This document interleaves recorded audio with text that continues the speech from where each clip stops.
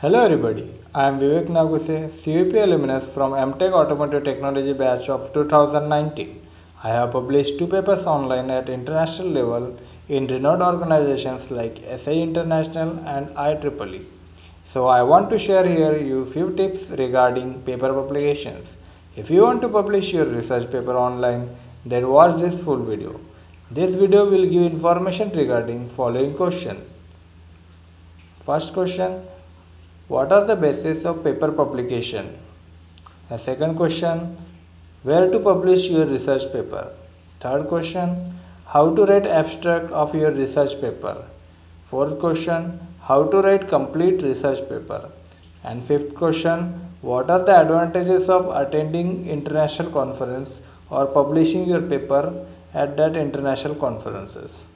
So so I will be giving here the first question answer. What are the basis of paper publication? So why? What are their basis? The first one will be your idea should be innovative. It should be creative in nature. Second will be the approach for processing your research or your project. It should be in realistic way. The third will be whatever you are doing your research. It should be have additive on the ongoing research. So the third point is additive research to ongoing research. And fourth point whatever you are doing your research it should not have adverse effect on environment. So fourth point is no adverse effect should be there on environment. So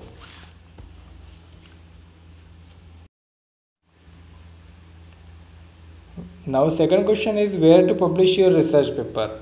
So there are many renowned organizations like IEEE, SAE, Springer, Elsevier, etc. So here you can publish your research paper. So there are two ways of publishing paper at journals and also at conference level. If you are publishing uh, at valid journals, then science DOI number get generated of your paper, and this uh, journal can be available in the hard copy in library so and if you are publishing paper at conference then it has its other benefits. I will be explaining these other benefits afterwards. Next question is how to write abstract. So uh, you can write abstract in minimum this eight points. So first point is problem statement. So you should write the first what is the problem you are going to discuss in your project. Second point is available resources to eradicate problems. So what are already available resources or available projects or research are going on to solve that problems? Third point is adverse effect of resources used so whatever the resources are being used so it, it had any adverse effect in the society in environment or to the human life. That you have to write. Fourth point is your solution for solving that problem. So what you are providing what you are uh, providing solution in your research so you have to write that in one line. And the fifth one is what resources used by you? Like materials or any instrument or any material you have been used for that project or it is experimental. So what are the materials you have been using? You should mention in that. Sixth point is procedure or processing the way of pro processing the project or research. In what way you are going to proceed all your complete project so that you have to write in the sixth line. And seventh whatever your finally results are the achieved. And the eighth that no adverse effect on human life or environment. So your project or your research have no any adverse effect on human life or environment. So this at every abstract at the end you should write this eight point now we will be going to our next question that is very important how to write your research paper. So what research paper should contain? It should have proper idea, it should have methodology, it should have mathematical mod modeling.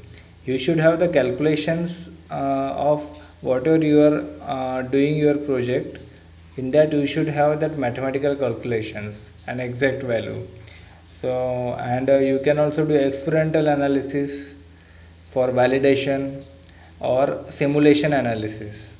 So you can use any software for that and you can validate your mathematical model with that uh, simulation results or experimental data whatever the results you are getting. So in this way you can complete your project and it is then validated and verified.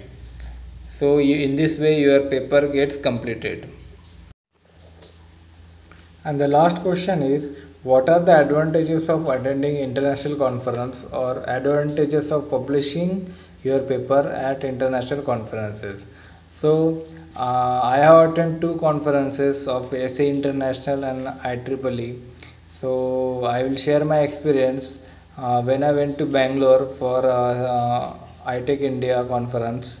Then uh, I met many renowned personalities like CTO, CEO, and many startup founders, and many enthusiastic young people, some scientists. Uh, so in that way you can uh, meet many of the peoples of your field uh, on which you are working. You can get uh, good contacts if you are at engineering level if you share your ideas and uh, your ideas are accepted by the good people there. So you may have exchange your contacts and then in future you have many more benefits regarding that I have also made too much contacts with uh, too many companies in there and also talked about the future innovations about the projects and many more things. So this is all about the paper publication. If you like my content then please like the video and also if you want others to watch this video then please share it to your friends. Okay thank you very much for watching this full video